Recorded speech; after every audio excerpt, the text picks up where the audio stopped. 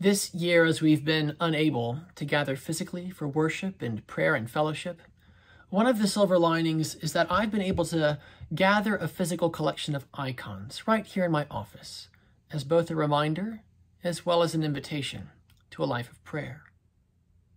Advent is a season ripe for iconography and prayer.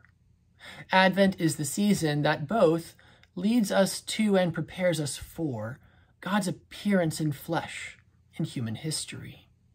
It prepares us for the God who will come to us and become the icon, the image of the invisible God. And during this season, the season of Advent, the icon I pray with most consistently is known as Our Lady of Sorrows.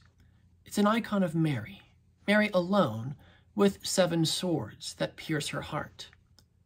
And for me, this icon is a reminder that the Jesus for whom I prepare, the God for whom we await, brings a joy, yes, but a joy that bears the pain of the world. It is no hollow or shallow joy.